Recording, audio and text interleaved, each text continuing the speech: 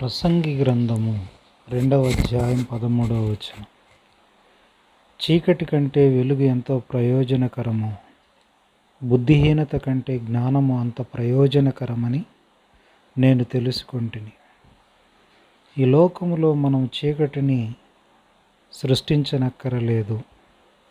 చీకటి తనంతట తానే మనల్ని ఆవరిస్తుంది. అయితే చీకటి సమయాలలో మనుషులకు వెలుగును ఇవ్వటానికి ఎన్నో పరికరాలు సృష్టించబడ్డాయి. నూనె దీపాల నుండి విద్యుత్ దీపాల వరకు మనం చాలా దూరం ప్రయాణం చేసి వచ్చాం. చీకటి ద్వారా మనుషులకు ఉపయోగం ఉందా? లేక వెలుగు ద్వారా ఎక్కువ ప్రయోజనం ఉందా? అని ఆలోచిస్తే చీకటి అనే స్థితి తప్పులు చేసేవారికి మాత్రమే ప్రయోజనకరం. కానీ సర్వసాధారణముగా మానవులకు వెలుగే అత్యంత ప్రయోజనకరం. చీకటిలో మన ప్రధాన జ్ఞానేంద్రియమైన కన్ను పనికి రాకుండా పోతుంది. మన చుట్టూ ఉన్న ప్రపంచం మనకు కనిపించదు. మనం ఎక్కడ ఉన్నామో ఎటువైపు వెళుతున్నామో మనకు తెలియదు.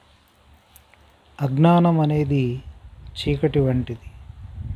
జ్ఞానము లేనివాడు భౌతికంగా గుడ్డివాడు కాకపోయినా జీవిత యాత్రలో మాత్రం గుడ్డివాడిలాగానే నడుస్తాడు.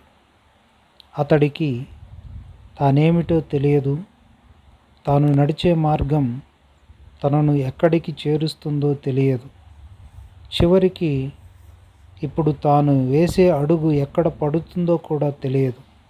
అందుకే జ్ఞానము లేనివాడు బ్రతుకు ప్రమాదభరితం. జ్ఞానము లేకపోవటం మానవులకు అత్యంత ప్రమాదకరమైన స్థితి. అయితే జ్ఞానం అనేది దీనికి పూర్తిగా విరుద్ధమైంది. జ్ఞానము వెలుగు వంటిది అని లేఖనం సాక్ష్యం ఇస్తుంది జ్ఞాని అయిన సలోమాను జ్ఞానము కలిగిన వాడు వెలుగులో నడుచుచున్న వ్యక్తి వంటి వాడు. అతడు తన్ను తాను స్పష్టంగా చూసుకోగలడు. తాను వేస్తున్న అడుగు ఎక్కడ పడుతుందో తాను నడిచే దారి ఎక్కడ అంతమవుతుందో కూడా అతనికి తెలుసు. అందుకే మనం జ్ఞానాన్ని సంపాదించుకోవటానికి ప్రయత్నించాలి. జ్ఞానవంతుడు తాను క్షేమముగా ఉండటం మాత్రమే కాదు ఇతరులను కూడా సరియైన మార్గములో నడిపించగలుగుతాడు. ఆధ్యాత్మిక యాత్రలో మనము సరిగా నడుస్తూ ఇతరులను కూడా సరియైన మార్గములో నడిపించగలిగే జ్ఞానులనే ప్రవక్తలని మనం పిలుస్తాం. వీరినే ప్రాచీన కాలంలో దీర్ఘదర్శులని వ్యవహరించేవారు. అంటే వారు చాలా దూరం చూడగలిగేవారు అన్నమాట ఇలాంటి జ్ఞానులు ఈనాడు అరుదైపోవటమే.